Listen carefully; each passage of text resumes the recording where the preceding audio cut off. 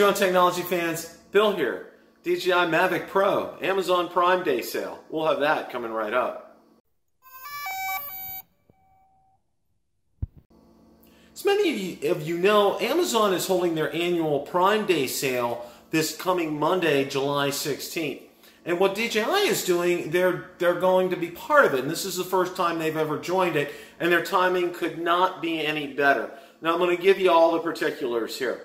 The Mavic Pro will be on sale for $795. That's $200 off. That's just the Mavic Pro and the controller itself. The Mavic Pro Fly More combo will be on sale for $999. That's $300 off.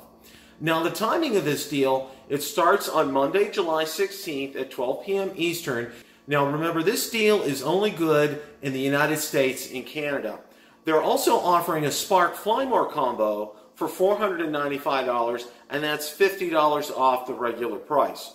Now, in the United Kingdom, they do, are offering one item for sale, and that's a Spark Flymore combo for $479. That's $100 off. Now, these deals are good both on DJI's Amazon store and on DJI's website. And again, remember, I want to stress this is good for only the United States and Canada.